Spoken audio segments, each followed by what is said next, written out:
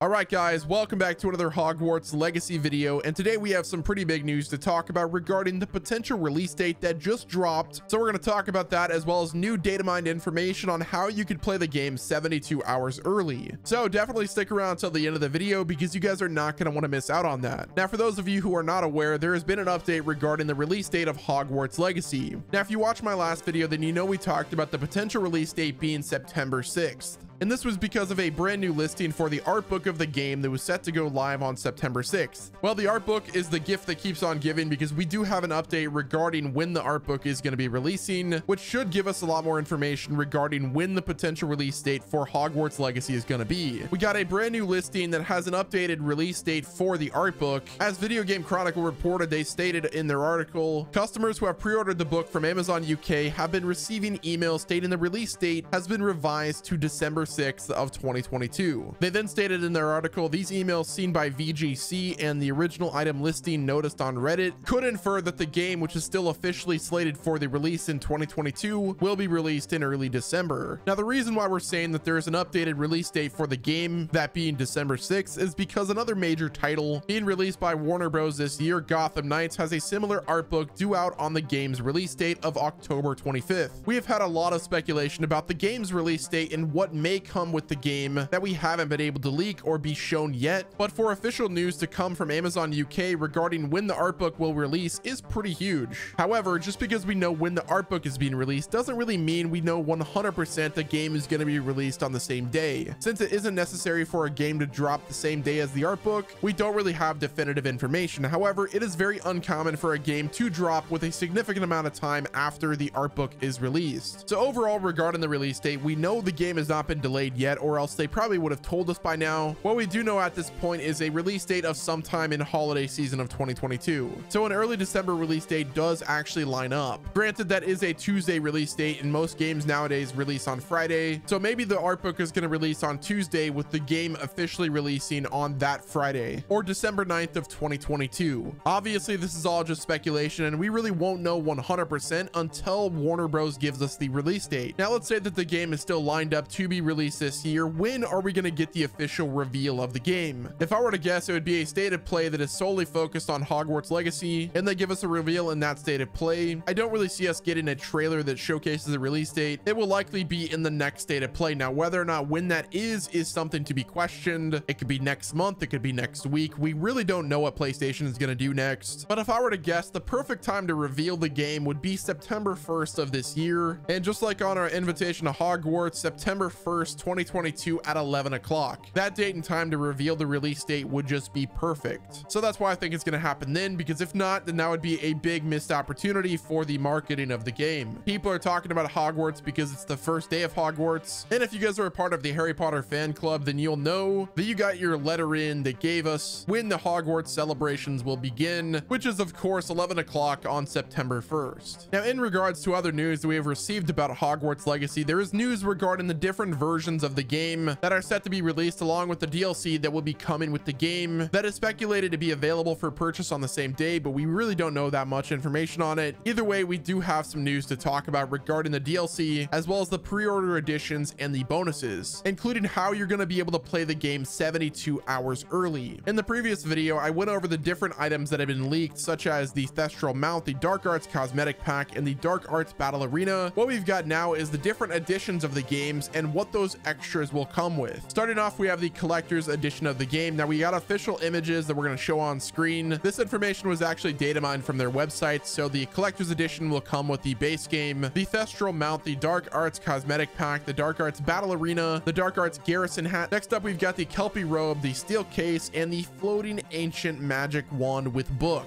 This one is going to be scalped like crazy. So if you guys would like to get that Floating Ancient Magic Wand with Book, you better get your funds ready with notifications on on every official source because this one is going to go fast. It will be heavily scalped. I know for a fact. My recommendation, if you do plan on pre-ordering this game, which I don't really recommend for a lot of people, but if you want that ancient magic wand with the book, then I recommend going to locations that are local. I'm personally a Harry Potter collector, so I will be pre-ordering this game, but that is just for the collectible items. Moving right along, we've got the digital edition that will be coming with the base game, the Thestral Mount, the Dark Arts Cosmetic Pack, the Battle Arena, the Garrison Hat, 72 hours early access access to the game, which I believe is a digital deluxe only. Now, I'm not exactly sure if we're going to be getting a disc for the collector's edition or if it will be a digital code. If you would like to play the game early, my recommendation is getting the digital deluxe version because if you buy the collector's edition, you're going to have to wait until that thing arrives, which will likely not happen until the game actually releases. The standard version of this game will only be coming with the base game and no extras. Now, while this isn't exactly uncommon among standard pre-orders, it would have been nice to get thrown a bone or get a small item like a hat or something similar to show that you are one of the originals who pre-ordered the game. Obviously, if it's just a standard edition you're trying to get, I would not recommend pre-ordering. Now, the information on these editions were found in the hidden files on the Hogwarts Legacy website that appear to show the various items included in the collector's edition, deluxe editions, along with attached links to large US retailers like Best Buy and GameStop, suggesting that the pre-order campaign for these items could begin soon. All of this was found by Reddit user Battle-BR, who dug around the main Hogwarts Legacy website as previously stated. Now, while you do get some of these items by pre-ordering a specific version of the game, it is currently unclear on whether or not these items will be exclusive to the pre-order package you decide to purchase, or if they will be unlockable as you progress through the game. For instance, the Thestral mount. I don't know about you guys, but having an item like a mount be exclusive to only a pre-order would be kind of weird, especially whenever we can go to the woods and actually be able to tame magical beasts like a Thestral mount. Having that locked to just a pre-order would be kind of weird. It would be better if they made it available for pre-order people as soon as they jump on the game. And then for the people that didn't actually pre-order the game, if they progress through the story and eventually find a Thestral to tame, then they can unlock that mount. But it could be the Thestral mount is just a cosmetic item. We don't really know much more than just the fact that it will be a mount in the game. There will be a pre-order item. There is one item that is included in the collector's edition, the floating ancient magic wand with book. There is some speculation surrounding this item, mainly on it being a physical item or not. The reason for said speculation is because the item is exclusively found in the most expensive version of the game. In my opinion, it would be really weird if this wasn't a physical prop. I don't really see how they could put this item in the game and just expect people to be happy, especially after reading that it is a floating wand with a book.